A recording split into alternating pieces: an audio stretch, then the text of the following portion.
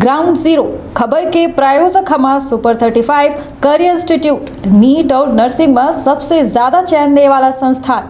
पता third floor Rama Govind palace Sirmour Chowk Rewa Madhya Pradesh में आदर्श आचार संहिता जो है, लागू हो चुकी है। अब पूरा जिला प्रशासन के अमला निर्विघ्न चुनाव करावे खातिर रात दिन बराबर मेहनत कर रहा है। हमारे साथ कलेक्टर साहब हैं, जिनके द्वारा लगातार जो है, हर क्षेत्रन की निगरानी की जा रही है। संवेदनशील अति संवेदनशील हर तरह के मतदान केंद्र के जो है, पहचान की जा रही है। सर, जो तैयारियाँ हैं इस चुनाव को, इस मतदान को, जो 17 नवंबर की तारीख आई है, उसको निर्विघ्न रूप से कराने के लिए क्या कुछ तैयारियाँ चल रही हैं? क्या कुछ इंतज़ाम हो गए हैं?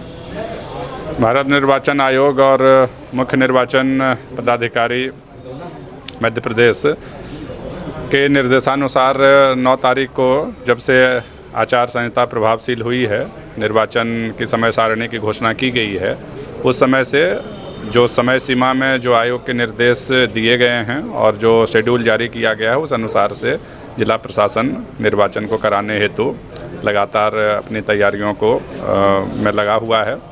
21 तारीख से आप सभी जानते हैं कि नॉमिनेशन प्रारंभ होगा तो सबसे प्रथम जो चरण है इसमें कि आचार संहिता का पालन हो दिन प्रतिदिन और 21 तारीख से जो नॉमिनेशन की प्रक्रिया है, वो अच्छे तरीके से संपन्न हो। इसके लिए आज सभी रजिस्ट्रीकरण अधिकारियों की आज ट्रेनिंग भी रखी गई थी। राजनीतिक दलों की बैठक हमारी हो चुकी है मीडिया प्रतिनिधियों के साथ बैठक हो चुकी है और बीच बीच में हम लोग और चर्चा करते रहेंगे। बाकी क्षेत्रों का भ्रमण भी लगातार संबंधित क्षेत्र के एसडीएम और पुलिस ऑफिसर्स तहसीलदार और हम लोगों के द्वारा भी, जिला स्तर के अधिकारियों के द्वारा भी लगातार किए जा रहे हैं ताकि कहीं से भी कोई स्थिति अप्रिय स्थिति निर्मित नहीं हो, आचार संहिता का अक्षरशा पालन हो।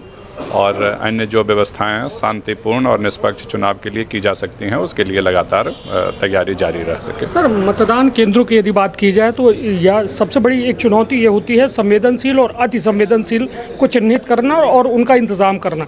क्या कुछ तैयारियाँ हो गई हैं उस संदर्भ में और क्या कितना पुलिस बल आप लोगों ने मांगा है? अभी पुलिस बल की उपलब्धता अभी निश्चित की जाएगी। आयोग उसमें अंतिम रूप तैयारी देने में जुटा हुआ है। और ये जो कोई भी क्षेत्र वैसे हैं जहाँ पे कि किसी भी प्रकार की अप्रिय स्थिति की संभावना बन सकती है, एक निरंतर प्रक्रिया है। हम लोग लगातार इसमें सूचनाएँ संकलित कर रहे हैं। हमारा प्रयास यही रहेगा कि चुनाव के बहुत पहले, जब चुनाव तक भी जाने की नौबत ना आए, चुनाव के बहुत पहले, इनफैक्ट, निर्वाचन की प्रक्रिया तो प्रारंभ हो चुकी है, बट नॉमिनेशन प्रारंभ होने के बाद से भी हमारा कोई भी क्षेत्र, कोई भी केंद्र ऐसा नहीं बचे जहाँ से कोई ऐसी कोई व्यक्ति या कोई अन्य ग्रुप हो जो निर्वाचन प्रक्रिया के शांतिपूर्ण या निष्पक्ष चुनाव में कोई बाधक बन सके।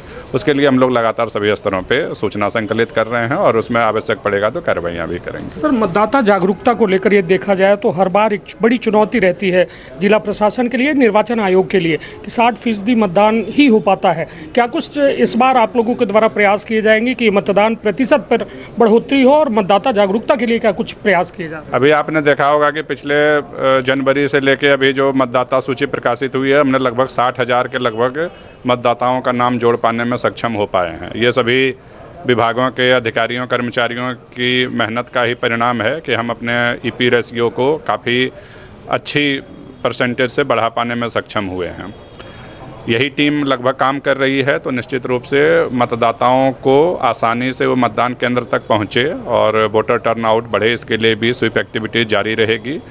और इसके लिए अन्य सभी केंद्रों पर अच्छी व्यवस्थाएँ करना, केंद्र के बारे में सूचनाएँ देना जो वोटर पर्ची आएगी, जब बन के आएगी तो उसका वितरण समय से कराना। ये सारे तमाम उपाय हैं जिन पे कि लगातार सभी विभाग काम करते रहेंगे, जिससे कि एक अच्छे सुखद अनुभव के साथ मतदाता मतदान केंद्रों तक पहुँच पाएँगे और बेहतर वोटिंग परसेंटेज हमारा होगा, ऐसा मानना है। सर, निर्वाचन आयोग के द्वारा सी विजिल ऐप जो है, जो बेहद महत्वपूर्ण ऐप है, और उससे भी कहीं ना कहीं एक ज़िले में जो निर्विघ्न चुनाव मतदान होने में बेहद बड़ा कहा जाए कि वो सहयोग भी कर सकता है। कि सी विजिल ऐप के लिए आप लोग क्या कर रहे हैं कि क्या जागरूकता उसके सी विजिल ऐप एक महत्वपूर्ण ऐप है जिसके बारे में माध्यम से नागरिक अपनी शिकायतों को सूचनाओं को दे सकते हैं आयोग के माध्यम से जिस पे जिला प्रशासन कार्रवाई करेगा जहाँ जिला प्रशासन को कार्रवाई करना अपेक्षित है।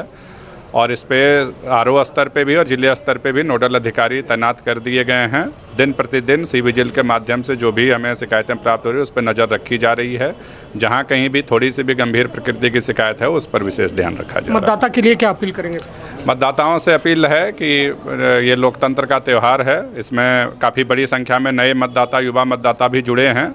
और अन्य जो आयु वर्ग के मतदाता हैं वो तो हैं ही। लगभग 10 लाख से ज़्यादा मतदाताओं की संख्या है इस बार। प्रत्येक केंद्र महत्वपूर्ण है। ऐसा नहीं है कि जो मुख्यालय नज़दीक है वो महत्वपूर्ण है, जो दूरस्थ हैं वो महत्वपूर्ण नहीं है। सभी बराबर केंद्र हैं। सभी केंद्रों पे एक शांति और निष्पक्ष चुनाव हो, इसके लिए आयोग भी लगातार प्रयास कर रहा है, जिला प्रशासन कर रहा है। किसी भी केंद्र पे ऐसी नौबत नहीं आएगी, इसीलिए भयमुक्त वातावरण में सभी आराम से सुखद अनुभव के साथ अपने मताधिकार का प्रयोग करेंगे, तभी ये लोकतंत्र का उत्सव सही मायने में सफल हो पाएगा। यही मेरी अपील है, और जहाँ कहीं भी अगर थोड़ी सी भी संभावना होगी तो जिला प्रशासन के सभी विभाग के अधिकारी, कर्मचारी तत्पर रहेंगे। चौबीस घंटे कभी भी कहीं पर कोई भी सूचना मिलेगी, तत्काल पहुँचेंगे। निश्चित तौर पर हमारे साथ रहे सीधी कलेक्टर जिनके द्वारा साफ़ तौर में एक आशा ज़ाहिर की गई है वो अपने हर इंतज़ाम के बारे में बातों बताई गई है।